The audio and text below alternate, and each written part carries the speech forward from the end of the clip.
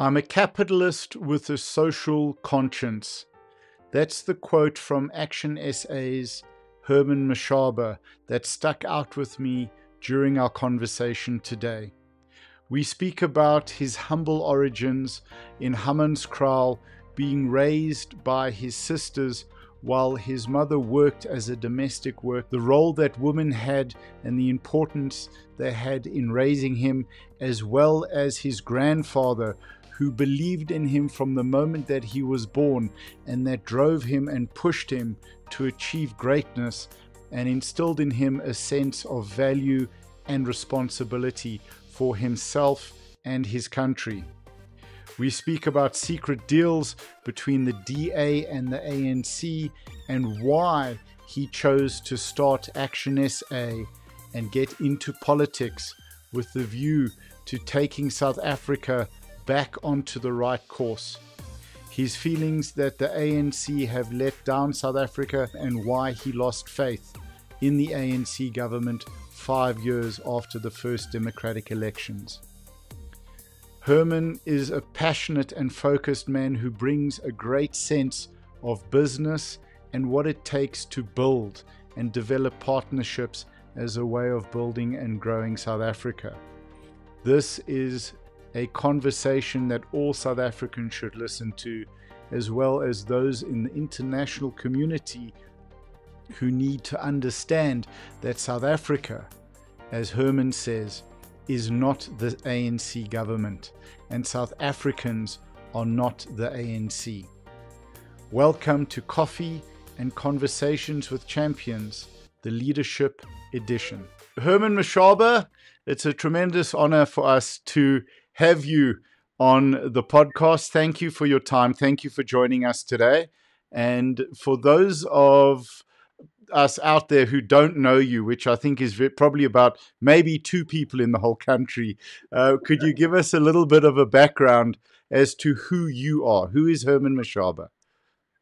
Oh, thank you very much uh, for this opportunity. Herman Mashaba is. Uh, 64 year old uh, old man uh, born on the 26th of August 1959, a year after H.F. Verwoerd took over as the Prime Minister of South Africa. So you can imagine I was uh, born in real difficult uh, the, the times of, uh, of our history in a small village in Hammanskraal called Garamotse. Um, mm-hmm. which is about what 20 40 k's uh, north of uh, Pretoria. Yes, uh, brought up uh, by my in a child-aided household because my father decided to die when I was two years old, leaving my uh, mother to look after us. And unfortunately, for her to be able to look after us, she had to work in Johannesburg as a domestic worker and leaving me to be looked after by my sisters, uh, the one in charge, only 13 years my senior. Right. What, what was that like growing up in the Hammanskraal region at that time? And I must say, I, I think some of the best people in our country come out of Hammanskraal. Everyone that I've met that's come from there has been absolutely wonderful. What was that like as a community and an environment to grow up in? Well, uh, we we lived really and deeply under uh, really poor, trying circumstances. Mm grew up having to at the young stage going to steal water from um, from our from uh, the Afrikaner farmers and camp from time to time. To, for us to, to, really be able to have energy to cook, uh, we had to go and steal uh, wood uh, because we are not allowed to go and just really it. And electricity completely foreign to us. I only experienced um, um, uh, electricity uh, actually in that village, uh, even when I left, um, there were no electricity. That village only got electricity after the 1994 um, uh, democratic dispensation. But obviously, uh, later on uh, in, in my years when I was in high school, I lived with my sister in Temba, which is uh, the, the, township across uh, from our village between Babelegi uh, uh and, and, and Garamotse. And uh, yeah, my sister over the years um, uh, managed and the husband built a house and electrified for the first time to live in a house where there was electricity. And at that time I was what, 15, 16 years of age. Right. What, what, um you know, just on that point, and it's something that I've noticed in our country over the years, the woman plays such a vital role, you know, from the grandmother through the mother, through the sisters. How important are women in shaping um, South African culture? And I'm not just talking about uh, the gogo with a slipper or a, or a sandal coming after to keep us in line. How important are women in South Africa? Well, I think I'm a living example of being brought up by Mhm. women uh, because, uh, as I say, my uh, father died when I was two years old, both my, my mother and, and my sisters. And uh, at the age of 22, I decided to get married um, so that I can have a woman who can really protect me. And this Right. past Sunday, we, my wife and I, just celebrated uh, 42 years of our marriage. And if I look at the role that uh, my mother played in my life, my sisters played in my life, and my wife played in my life, the men talking to you right now Mhm. was shaped by women. I've never called someone dead in my life. Calling someone dead in my life is completely foreign because my mother never remarried. Right, right. 100%. I But, think that. but mm, I think I need to qualify this. Yes. Uh, someone who played a very important role in, in, in my my value systems and principle was uh, my grandfather. On the day I was born, on the 26th of August 1959, for some reason he happened to have been home and uh, went from house to house to tell everyone calling me high man and which was not my my name. My, my mother and father had given me uh, some say Philip as, as my official names but for some reason my grandfather decided to disregard them i don't know where, whether he knew what high man was but was going around to uh, the house to house um, Right. uh, led in that community to tell them Hyman is born. And then I happened to be called Hyman by the entire by, by the entire community, including my own parents. So I Right. grew up being called Hyman and um, by the time I reached 14, 15, this was just this high man was too much because my grandfather played such a key role in my life in Mhm. defining when I am in terms of the values. He, Right. uh, he told me and instilled in me a sense of self-reliance. He, Mhm. he taught me the, the discipline. He taught me the, the, the value of believing in God and believing in myself. Um, the, the, it gave me the self-esteem and instilled me a sense of um, success. Uh, to, really throughout his life, uh, from the day I was born until he died in 1978, for him, all the time when he was home, he instilled a sense of success in me that I cannot fail. Uh, Right. uh, uh, must accept. I must only accept failure after trying. And, Okay. and that's how uh, later on, uh, unfortunately, he was already gone by then because he died in 1978 when I was in matric. And uh, but I mean, you can imagine at that time as a young person, I used to despise my grandfather. I thought he uh, he was just too much on me. I used to feel that my grandfather's expectations of me were unreasonable. But I tell you, when I reached 22 and I realized I was running out of time, I was getting old and I needed to do something to succeed because my grandfather instilled in me throughout his life that uh, failure in my life uh, yeah, is not uh, negotiable. And I must always make sure that I'm in charge of my own life. Right. And he's obviously still with you now, keeping an eye on you. I, I'm- can assure you the weight because I think, uh, and the, the older I get every day, the more uh, I actually appreciate the role that is played in in my life. And unfortunately, it's not uh, that uh, that I can physically, uh, uh, just, you know, you know, thank him. But Right. I, I do it. I actually, uh, I thank my grandfather for the work that I do. Uh, uh, um, when I went into business, um, I, when I got married, I went into business. I was really lucky. I succeeded, and uh, as part of um, uh, really some of the principles my grandfather taught me was to take personal responsibility and uh, just uh, in my late 50s decided to take the responsibility uh, to save my country and yes. free it uh, from um, this, uh, the misrule that we've experienced in the last what 20 25 years mm-hmm. of our new democratic dispensation so so he really the, the sense i get is your grandfather knew the path that you were on and he was just there to remind everybody of where you were going.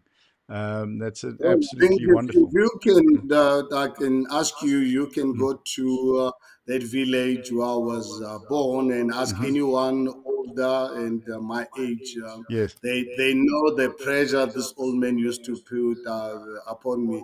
He used to work as a security guard in Ga-Rankuwa for the Ga-Rankuwa municipality and used to come home every month and then obviously he'll be home for a week during Easter mm-hmm. and that December he'll be home the whole month.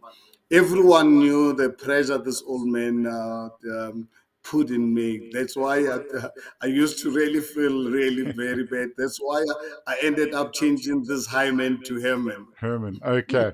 But w- what got you to accept the pressure? Because I think a lot of people that are put under pressure, particularly youth or kids, you know, they rebel completely the opposite way, and that pressure can almost break them.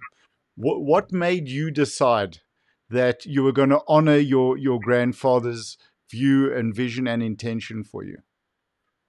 I think it's really for me. It's natural what I do. Uh, mm. um, but what I do every morning uh, before I wake up, uh, I ask for God's uh, blessings for every decision that I take. Mm-hmm. I know I have to take responsibility for the for, for the decisions that I've got to take. But uh, what I do every morning, I ask for God's guidance that whatever decision that I'm going to take on that particular day, yes. I've got to take it with the right intentions. It is for that reason, um, you know, for me that uh, no human being can ever hold a gun um, at my head. Um, um, uh, for smaller yana things. Uh, I think it's um, whatever I've done in the 64 years, um, yeah.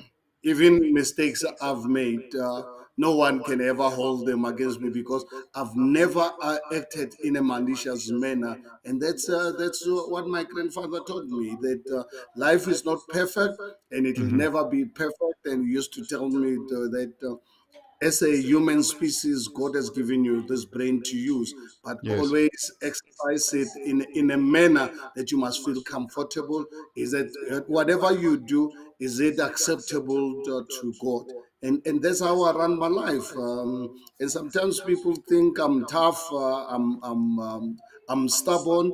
Uh, unfortunately, that, that that's how I, I was uh, I was made because when I believe in something, um, I do it uh, regardless of how other people actually feel. Because right. one of the things that I've been really taught was that um, I must never uh, allow friendship uh, to, to determine uh, my decisions because uh, that's very, very dangerous. Because uh, relying on someone else's advice, the person might obviously be giving you mm-hmm. malicious uh, might have a malicious agenda. If yes, one thing taught me to listen to people and take advice, but ultimately I must take ownership of the decision that I've made.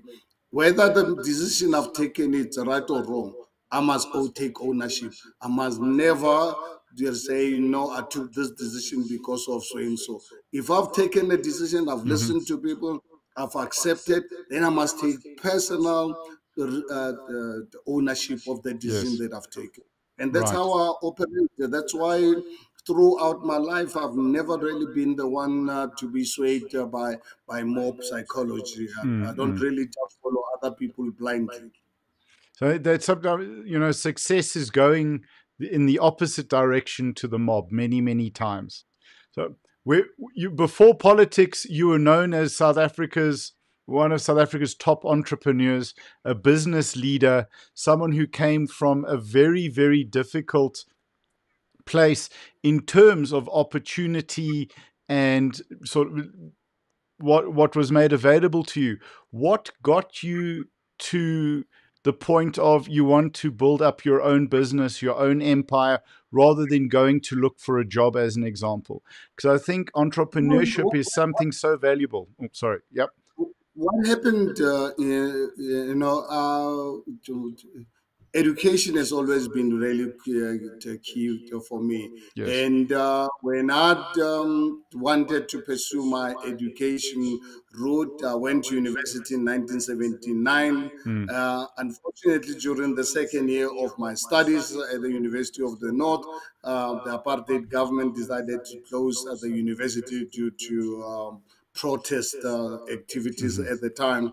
And uh, when they called us back after a month or so, I decided not to go back. I wanted to focus my energies on leaving the country to go here for military training. But mm-hmm. God had another plan for me, it uh, shielded me from getting reliable contacts to get me uh, um, to leave the country. And I thought in the meantime, while I was waiting for the context, let me find employment. Those days in South Africa, mm-hmm People who did not work were those who did not want to work. Employment opportunities were everywhere. You could jump right. from one business, from one business to the other if you felt up, uh, uh, uh, exploited. And I'm uh, actually a living example uh, um, of um, someone who exploited um, business because right. I worked 30 months in my life for two companies seven months for Motani in sorry for SPAR Pretoria as the dispatch clerk and mm-hmm. they and 23 months for Motani Industries, both as a dispatch clerk. And and I'll keep telling this, which is true, that when I worked for SPAR, when I worked for Motani, I wasn't working for them. I actually exploited them because they paid me to get experience because mm-hmm. it's something that I recognize that you know what uh, with not obviously getting my university degree and being able to leave the country, the only way I can do is to one day go into business. But before going to business, mm. I needed the experience and I, I, exploited business. I exploited SPAR, giving me 175 rands a, a, a month and they thought they were exploiting me. In the meantime, they gave me 75, uh, they paid me 75 rands uh, to give me the experience. Mm-hmm. And uh, seven months later, joined Motani, worked for them for 23 months. And then 30 months later, uh, 1022, they realized that I'm 22, I'm getting old. I needed to succeed, and it's time for me. At that time, I'd already saved enough money to buy a, a, uh, a motor car because mm-hmm. I needed to really be a commission sales rep because we are not allowed as black people to go into into normal business. But yes. before uh, before going into business, I needed stability in my life. God gave me the wisdom to recognize stability to mm-hmm. be a successful business. That's why before buying the car, I got married. Two months later, bought a car. Two months later, resigned. Everything mm-hmm. else is, is, is history. Right. Um, I started uh, selling stuff on commission basis, including in 1983, came across a company in Johannesburg. They had a brand called Super Curl. I sold for them for 19 months. And during that 19 months, I discovered uh, a print a money printing machine and mm-hmm. I, but I decided I'm not gonna print money for someone else. I'm gonna do it myself. And because of my views in life, um, uh, something that uh, I feel really very proud about. Because you can imagine, I had no technical know-how to make mm-hmm. this product, but I wanted to make them, and I said I'm gonna make them. I approached a white Afrikaner working for this company who was a chemist, and I took a chance. I said, Johan Joseph and I can sell this product. You can make it. We're making money for someone else. Why don't we make money ourselves? Mm-hmm. And uh, everything else is history. You can imagine in 1984 approaching a white Afrikaner, a relative, uh, yes. only discovered it's actually his wife, uh, Johan's wife, was related to the owners of this business. So you can imagine if uh, this guy had uh, declined my invitation. Mm. But one thing because of my upbringing, because of the teachings of my father, my grandfather, is that you can only accept failure after trying. And yes. now, yeah, approach Johan Kriel, he accepted. I looked at the positive side of life. I did not really uh, say, no, this is a white person. I, I, uh, I did not care about Johan's um, racial makeup uh, mm-hmm. on how God created you. I needed his expertise, and Johan needed my expertise as a salesperson. and everything else is history. Fantastic. Can you give us a little bit of insight into what it was like building your business then during the apartheid era? Because I mean, there were time restrictions when you could be out. There were, you know, rest- I think restrictions on everything that you encountered. What what got you to push through? And the reason I'm asking that is talking to the youth of today, where there's opportunity and ease to start your own business with the internet and everything that's available to them. If we can talk about how challenging it was when you started to build what you built. You can imagine in 1985 when I started the business in Ga-Rankuwa in uh, in Bophuthatswana at the time mm-hmm. in a 200 square meter factory.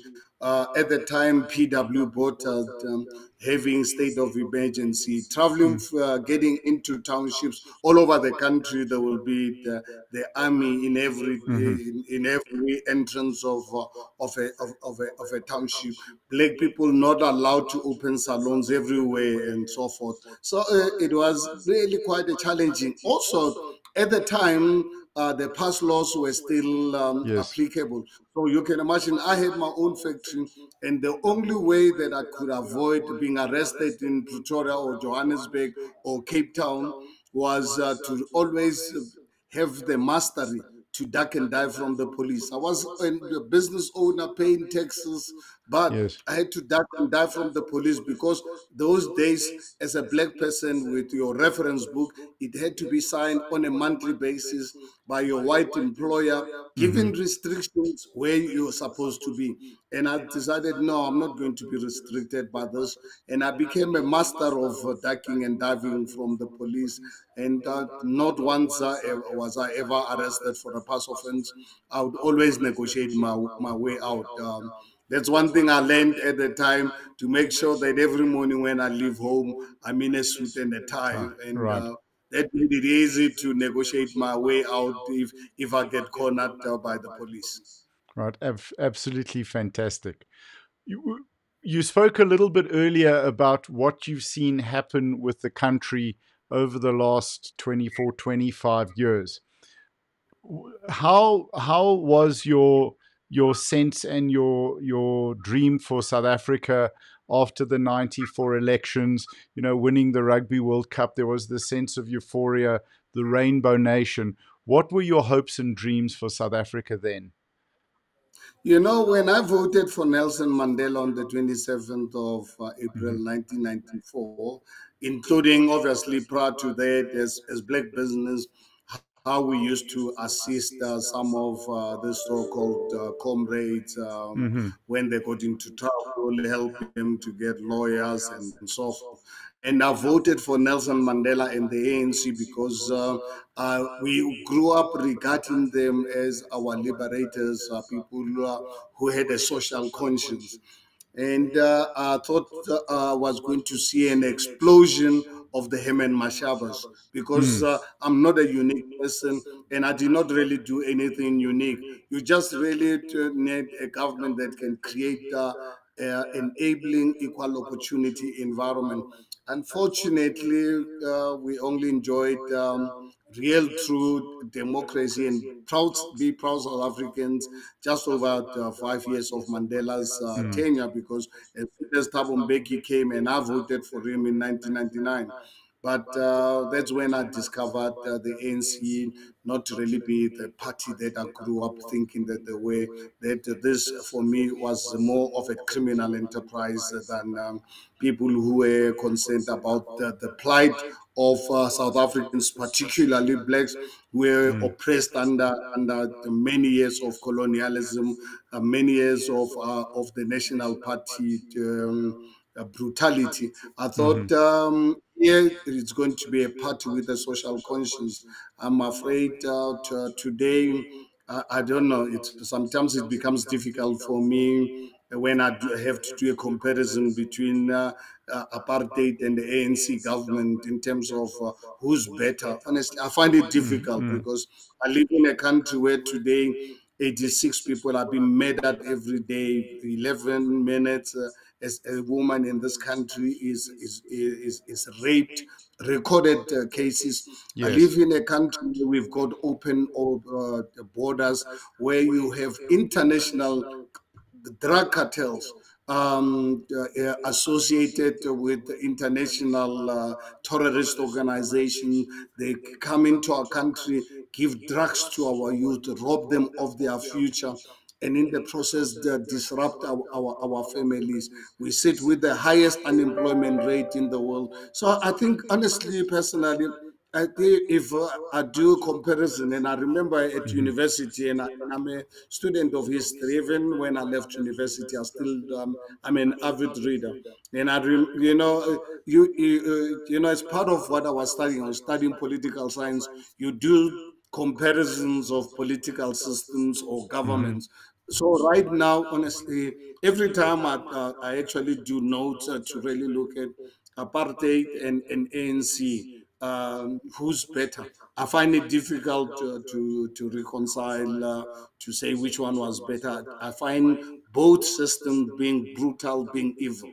Mm-hmm.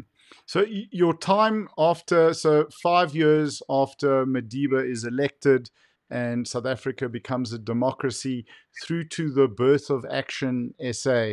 What was your thought process? What brought you to starting the, the party and to starting Action SA? Okay, would you guys give me a minute to charge sure. my my laptop is not on charge. Just give me a minute. There's Perfect. Here. Cool.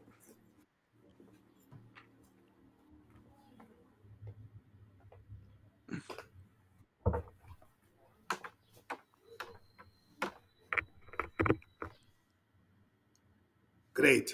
Uh, sorry for this. Um, no problem. Yeah, because I really rushed in uh, to do this yeah. interview.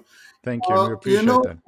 In my mid 50s, um, or actually earlier than that, you know, after um, actually um, having the uh, losing losing confidence in the ANC, mm. I started looking for a political party to vote for, and I started voting for the for the DA. And I used to really be vocal about um, some of the things that South Africa was uh, not doing right, particularly mm-hmm. the yeah, it, it started with um, passing of what are called draconian labor laws, making mm-hmm. it difficult um, for businesses, particularly SMMEs, uh, to, to thrive. I mean, the influence of COSATU and the so-called South African Communist Party, it's a curse to this country. Mm. And I started raising this with the ANC colleagues to say, guys, you are going to destroy businesses. Uh, communism has never worked out. Uh, mm-hmm. You guys uh, you must have studied this. Uh, you know, from 1917 when Lenin and uh, Stalin took over Russia. Look at every country in the in the world. Communism cannot really be the answer to prosperity and mm-hmm. giving black people the prosperity that they deserve. Uh, you know, and then look at uh, this uh, government. the first big investment that they made was on the arms deal. At the time, South Africans, uh, black South Africans uh, needed housing because apartheid government was never building uh, uh accommodation for mm-hmm. houses for black people. Land was an issue. Instead of addressing this, the first investment these people make is on armament. At the time, South Africa was the darling of the world. And we raised these matters with them to say, but guys, what do you need uh, armaments for? The apartheid government, as you are aware, had one of the most powerful um, uh, armies in, in the world. So, in terms of the, the countries of uh, the safety, we, we did not really need to invest in the armament. But at the end of the day, the reason why they went for, for, for, for investment in the arms deal mm. was to start really stealing the public monies. And uh, that's when uh, I started having a fallout with them. And then compounded uh, by the, the, Zimbabwean situation, how mm-hmm. the uh, quiet diplomacy that uh, ultimately destroyed uh, that beautiful country called Zimbabwe. Those are some of the things, examples. There are lots uh, more, uh, you know. Mm-hmm. But uh, just to really give you a sense of things that really got me really mm, disappointed with the ANC. And every time, as a as a businessman, I will mm-hmm. be invited to speak to people on a regular basis uh, be here in South Africa or anywhere in the world, I would not hold anything back about um, my uh, unhappiness uh, and uh, uh, with what's happening in South Africa. And uh, ANC started feeling that I'm a traitor.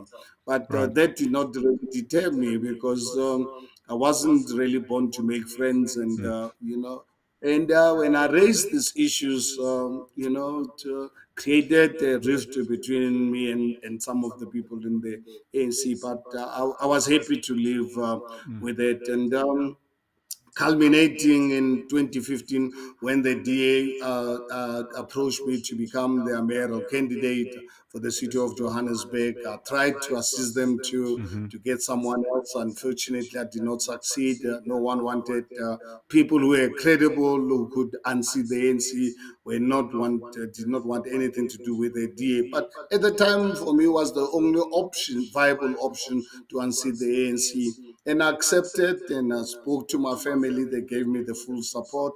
And uh, remember, uh, August 2016, we removed the ANC from from the yes. city of Johannesburg in in the first round. Mm-hmm. Um, ran a, a, a three, uh, um, a seven-way coalition government uh, for three years, from 2016 to 2019, and my goodness, to my surprise, uh, I think it's around about August um, 2019, that's when I came across um, secret meetings between the ANC and, and the DA um, um, um, to uh, facilitated by the IRR to have a, uh, the ANC to come out with a motion of no confidence and mobilizing DA, uh, some of the DA um, councillors to support that motion. So luckily, because um, I'm a son of God and uh, um, and I'm uh, I wasn't born yesterday, people um, brought this to my attention. And I informed Mmusi about this and uh, giving him the evidence, and Mmusi failed to do anything about it. And um, and I warned South Africans beforehand. Mm. I said, if Helen is uh, elected, uh, to come back to the DA because she's the one leading uh, these mm-hmm. negotiations with the ANC. I said, if she comes back to the DA, I'm afraid um, I will have to terminate uh, my membership, stop being the mayor. And they thought I was joking. Helen was elected on the 20th of October uh, 2020. The following morning, 10 o'clock on Monday, called a press conference. I resigned, and uh, right, which really quite really said it was not an easy decision. Uh, mm-hmm. but uh, it's life. Uh, um, people will step you at the back. Um, that's why, if what I've just said to you, mm-hmm. grandfather taught me to be careful of human beings because not all of them actually mean well. And but what is actually interesting about uh, this development is that as soon as uh, I resign, the outcry of South Africans that I start mm-hmm. my own political party. Uh, that's what led uh, to the launch of um, um, the People's Dialogue, um, um which I ran for for three months uh, because I wanted to test to see. I needed the scientific basis to see if mm-hmm. these are real people say firstly and secondly i wanted to see if um, these people actually say the same values as i do and uh, everything else is history i gave the assurance to my family because i needed them to fund mm-hmm. this very expensive project and uh, the family wanted to me to give them the budget. I said, I don't. Unfortunately, I've never run something like this. I don't know what it's going to cost, but wherever we're going to invest, it will be investing in the future of our of our children, our grandchildren, and our country.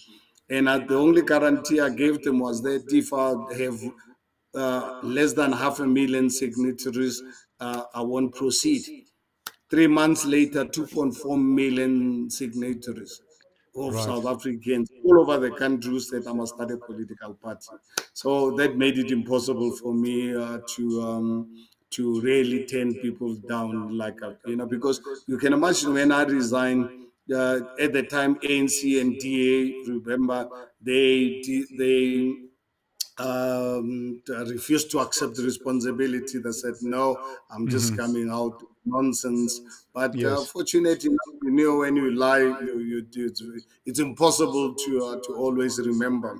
Uh, yep. Two years later, in an interview with SABC, Helen Zille confirmed uh, the secret meetings between the ANC and the and the DA. So and and I've accepted because obviously I had evidence. I did not need Helen to uh, to confirm, but they, we, we've got an interview of Helen actually confirming um, uh, the, uh, existence of uh, this uh, plan uh, to oust me between the ANC and the DA. From the DA, my sin was that um, I was focusing too much attention on poor communities. And okay. for the ANC, they were scared of uh, my resolve to pursue um, uh, uh, corruption charges against mm-hmm. senior members of the ANC. So I think uh, for the DA, it's, unfortunate that I must be called an EFF mayor uh, uh, uh because I'm providing services to poor people, as if um, providing services um, to poor people is a preserve of the EFF. EFF mm. that are in government in Ekurhuleni and everywhere else, uh, are they providing services to poor people? And, and my entry into government, into politics, wasn't to serve a particular uh, uh, interest. I was there to serve all South Africans, particularly the, the poor. My view as a capitalist I'm a, I'm a capitalist uh, who with a social conscience. I don't believe in saying to rich people come down to the poor.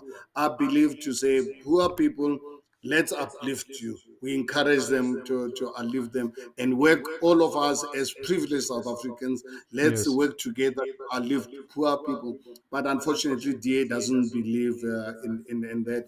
And the ANC is determined, uh, to completely determined to keep black people poor and, uh, and um, uh, and, and, dependent on the state because uh, they they have uh, they were taught uh, by by the best in the world uh, the, the communist mm. communist Russia they they know how to oppress people and, and control them you control people if you can obviously take away their um, self um, dependence mm-hmm. so if you want to control people uh, tell them they are victims all the time, tell them they are slaves, tell them everything wrong with the government. Uh, uh, to, uh, it is got to do uh, with apartheid. Uh, the president can have money under mattresses. No, it is HF mm. rule. Jan van Riebeeck has a mistake. It's got nothing to do with us, you know. So, unfortunately, uh, that's a kind of uh, the political environment um, under which we operate. But um, we're determined as Action SA, where we uh, we are here to ensure that um, people wake up uh, to the lived experience, and mm-hmm. uh, we I'm really so pleased that people are responding more than positive.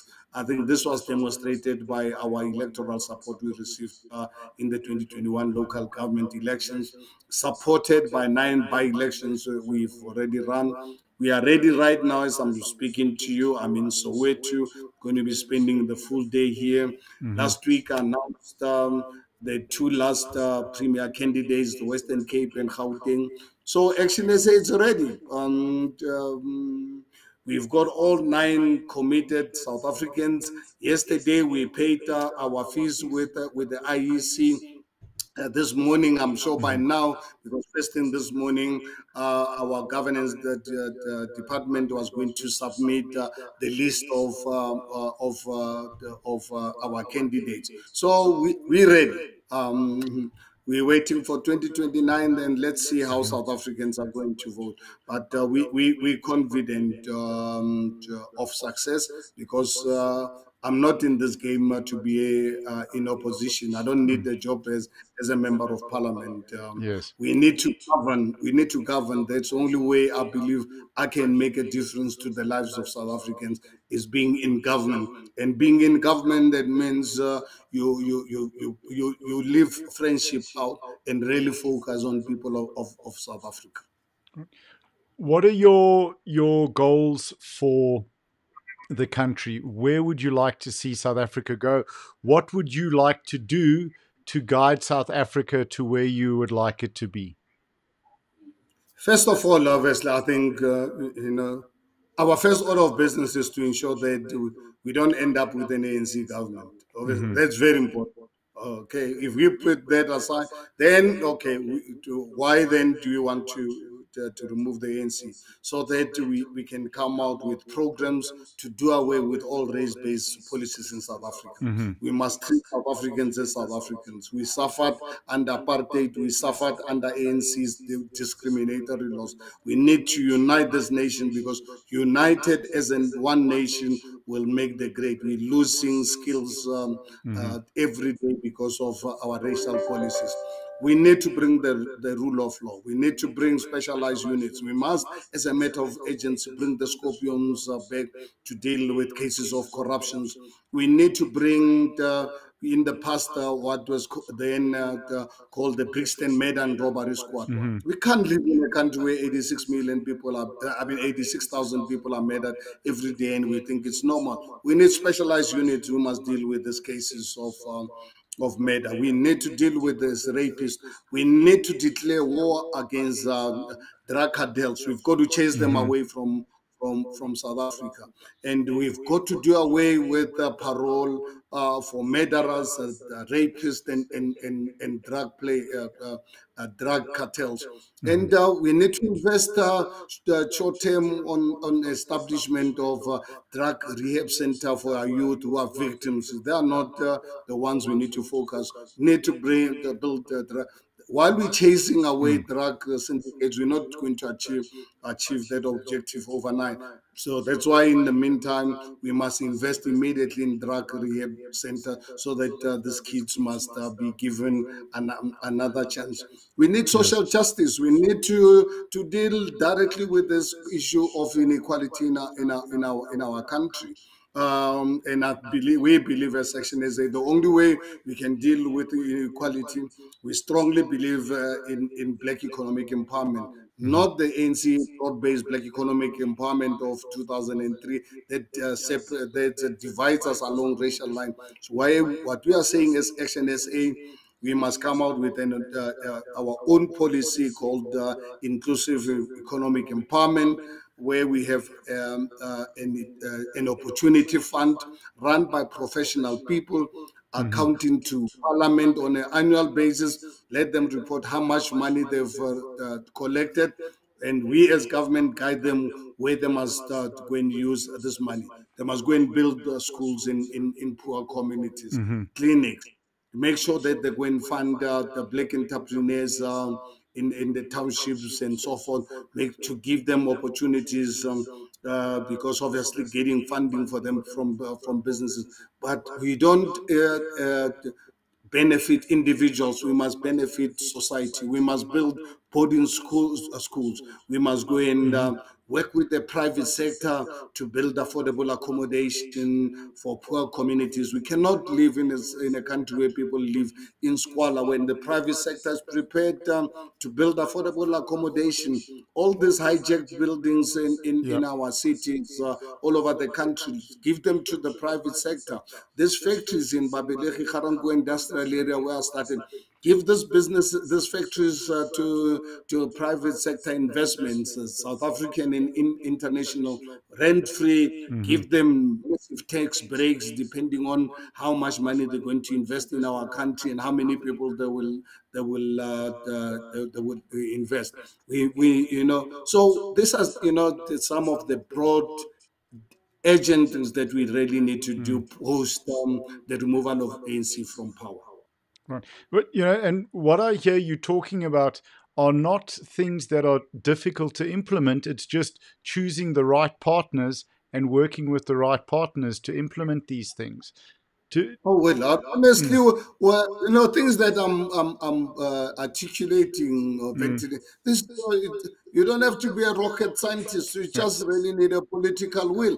You know, when I was the mayor of the city of Johannesburg with the inner city rejuvenation, mm. uh, protecting the residents of Johannesburg, making sure that every month I have a um, uh, the, the, press conference um, report the crime stats uh, in, in, in the city of Johannesburg. I know national the province and national police were not uh, happy with me, but mm. at the end of the day, it, it was the right thing for me to do the report.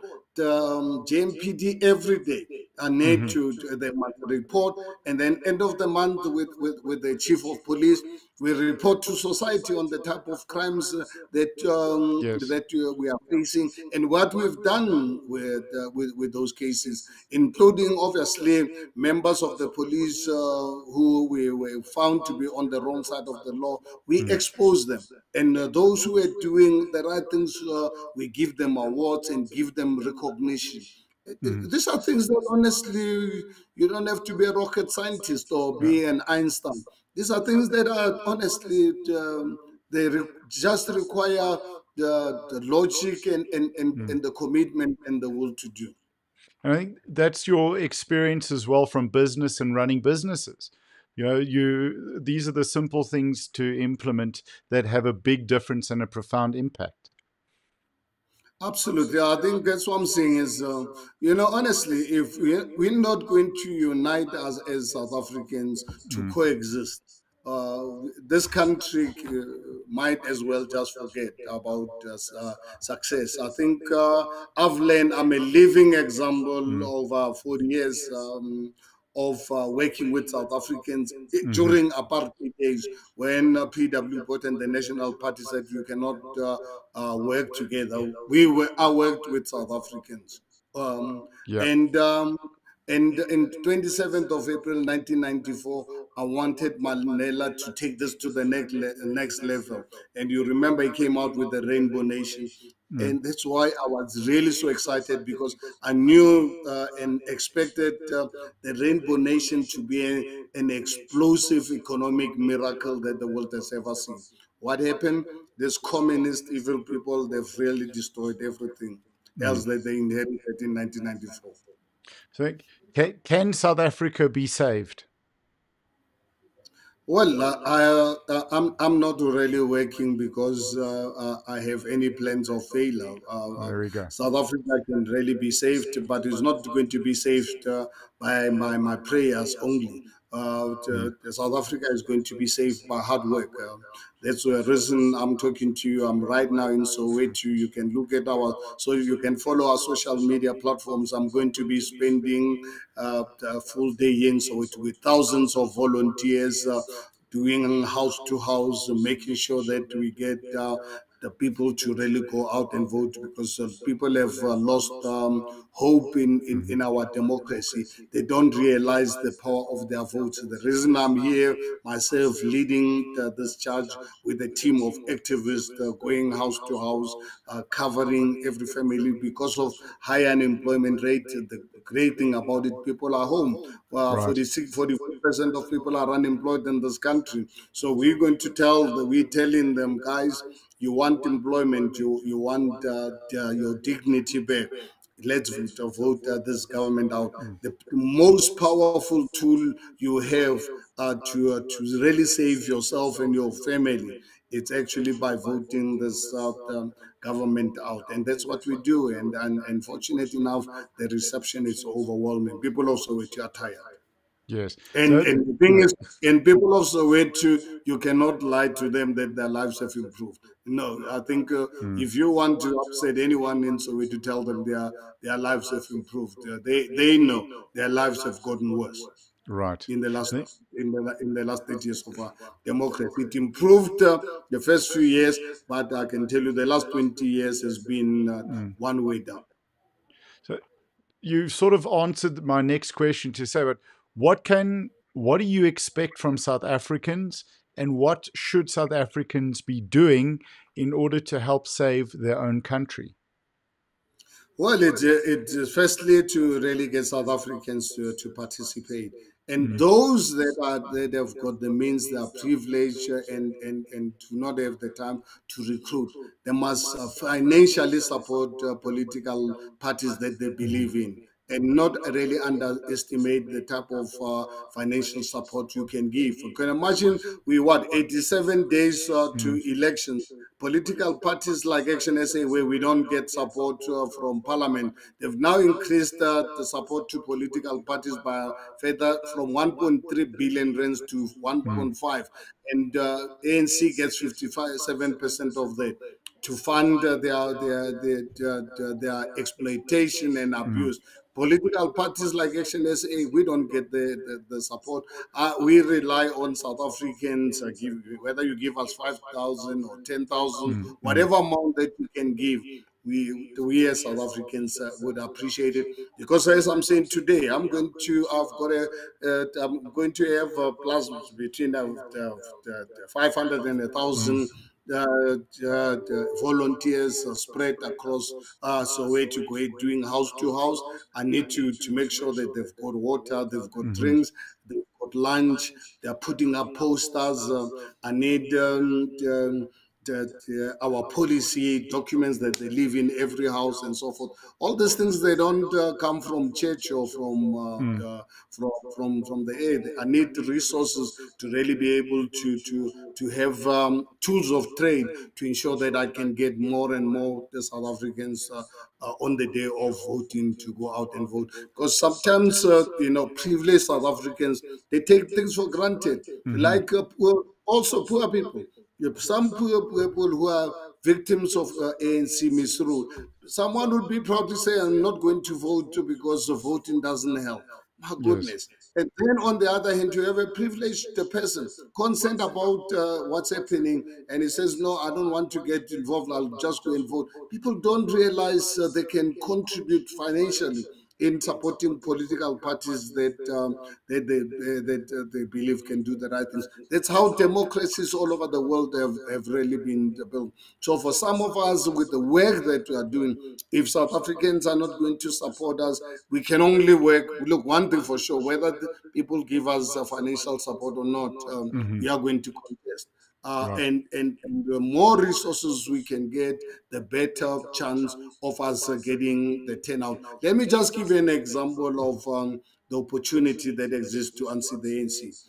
If you look at the ANC over the last uh, three elections, in 2019, they, they were voted in by 10 million people. Only 18.6 million people voted. 17.3 17 million people did not vote. Half of the 17 million were not even registered to vote. This time around, because mm. of Action SA's uh, aggressiveness uh, in voter education, at least we're sitting with 27.7 million people who are vote, who are registered uh, to vote. Right. And if you look at now ANC uh, in 2021, they were voted in by just over 7 million South Africans. So if you now look at uh, all the statistics, ANC, will they get 8 million people voting for, for, for, for, for ANC? They can ban the mutis and whatever like they did in mm. Kimberley over the weekend. There, there's no way ANC will get over 8 million people to vote for them. But we have a voting pool of 27.7 million people who are registered to vote. Now, the challenge is to, to, to make sure that uh, we can get majority of them on the 29th of May to turn out to vote.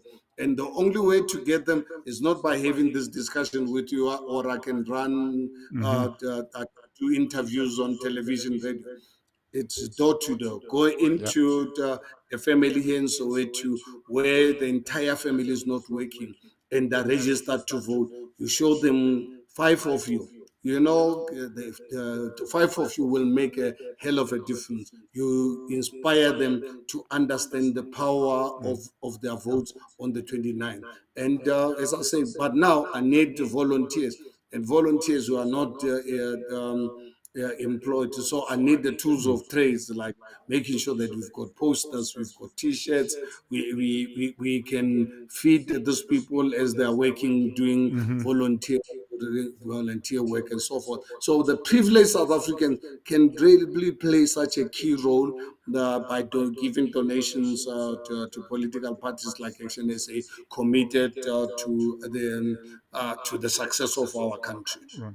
I think going door to door and reminding people about the value of their vote is reminding them that they actually have power, they have control, and they can they can be in charge of where their lives are going, which is it's a, the voting is vital, but that's such an important thing to do for a community is to remind them that they have power and control over their lives.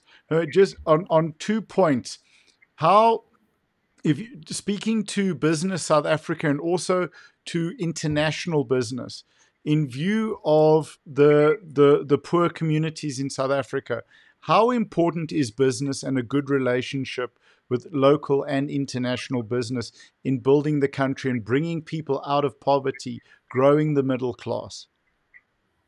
Well, look, I think unfortunately, uh, business in, in, in, in, South Africa um, um, over the last uh, 30 years of our democracy have really been partied um, working with this ANC. Mm-hmm. Perhaps um, they thought ANC meant well. Uh, so I think, unfortunately, uh, our business leaders in this country uh, have been uh, part of the problem uh, because of their close relationship uh, with the ANC. So, unfortunately, um, uh, big business and, has not really played a, a, a constructive role perhaps in their in their world uh, under impression ANC is the only solution to this country and, and some of us unfortunately differ with them. Uh, that relation that close relationship and proximity with the ANC that's what has led uh, to the level of corruption because mm-hmm. they ended up in all their boards uh, having this ANC corrupt people getting them tenders and uh, and and uh, uh, playing government relations job and so forth. So I think um, captains of industry in this country. Yeah, to a large extent, not all of them, obviously. I think mm. one should not really paint everyone with the same brush. But I think if, if you look at it at a, at a bigger scale, and unfortunately, captains of industry in this country um, are part of the problem that South Africa is sitting with at the moment. Right. What what can they do in order to perhaps change the direction of where we are headed? Because I don't think, in my personal opinion, where we headed is so good if we don't have a change, uh, because we don't see things improving. Well, the thing is, for as long as uh, they are prepared uh, to have this uh, close proximity to the ANC, uh, or being scared to, to speak out because mm. big business is too scared to speak out. I cannot really accept um, that um, as, as an independent uh, person, uh, a leader of society, because as a as mm. captain of industry, you have the responsibility uh, in a democratic dispensation to raise uh, your voice. But majority of them are too scared uh, to, to raise their voices. Perhaps they've got smaller uh, skeletons. Unfortunately, you mm-hmm. remember um, uh, Dlamini, uh, ones that uh, in the ANC. That's why they cannot speak because they've got smaller yana things. Maybe some some in, in uh, some captains of industry they've got smaller yana things. It is for that reason that um, they are silenced. I don't know. Right. I, I honestly I can't speak for them as to why they are not raising openly raising mm. the, uh, their consent and distancing themselves uh, from the ANC. Why is the the why are the poor communities and it, it's a, a, question that can answer itself but it, why are the poor communities in south africa so vital so important why do they need to be looked after as a priority well, uh, it's a moral thing to do. Uh, I think uh, I don't want to live side by side uh, with um, with poverty.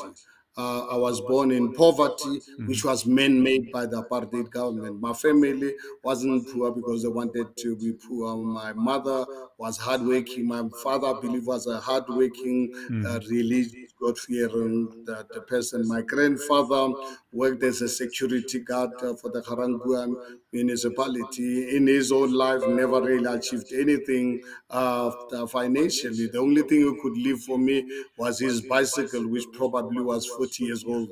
That's the only thing I inherited from my grandfather. I never inherited anything from my, my father. So I don't want to live side by side uh, with poverty. I've been fortunate enough uh, to really have the financial independence to live anywhere in the world, but I've chosen to live here in South Africa and invest um, in in, in in helping South Africa not to really be another failed African state. And the mm-hmm. only way it can be done is mm-hmm. uh, by uh, getting the votes of, of of the black majority who are today not actually voting, and their heart full with ANC. more especially here in Soweto. I mean, uh, the, yeah, the, the, people are hurtful, um, you know, but there must be some of them make wrong decisions by not going out to vote because mm. they don't understand democracy. So that's why house to house visits are very important to make sure that we we give them the power because ultimately in a democratic dispensation the voters are, are the bosses but the ANC has actually instilled in the people uh, a sense of dependency mm-hmm. and uh, and and uh, and, uh, and and uh, people don't uh, were never given an opportunity to rely on, on on themselves because you deprive them of education you you you destroy businesses and and you get people to live on 350 rands a month. You allow drug cartels to destroy them. So yeah uh, but uh, people are seeing this through but some don't it, uh, you know so that's why it's important to do the work that i'm doing mobilizing uh, uh, our activists here in soweto and other mm-hmm. places to do house to house to make sure that uh, we can get majority of them because if we are not going to get the majority of south Af- black south africans to go out and vote we might end up with another ANC government with less votes. Yes, which is not sort of really where we want to be heading. So uh, we we are running out of time a little bit. Um, we're very grateful for your time because we know you've got such a busy day today. What would you like to say in closing to South Africans and I think also to the world about South Africa? I'd, I would really like to appeal to South Africans. Um, let us join hands. Uh, those that obviously are patriots, um, and, and not really be angry with South Africa. Let us be angry with the ANC. There's absolutely nothing wrong with South Africa. Mm. The problem is the ANC government, and uh, let's work uh, towards um, uh, holding hands uh, to ensure that we can mobilize South Africans uh, to go out and vote on the 29th uh, of, of May. Do um, uh, 87 days away. So we don't have time on our side. Mm-hmm. And at the same time, appeal to the international community. Please, um, whatever the ANC is doing, please is not. Um, ANC does not represent us. One thing I know uh, as uh, Herman Mashaba, ANC does not represent me, and I, and I know ANC does not represent the majority of South Africans. Please uh, give us a chance uh, to ensure that we can remove this government so that we can bring in a government that can work with like-minded um, civilized nations so that one day South Africa can be among the civilized nations, prosperous uh, nations. We just need to really be given a chance. Absolutely fantastic. Herman Mashaba, thank you so much for your time today. We greatly appreciate it. And uh, looking forward to connecting with you maybe tomorrow as well, just to hear how, how it went today in Soweto. Um, I'm going to finish the recording and then I'll just chat to you afterwards. So thank you so much for your time today. Okay, thank you so much. All right.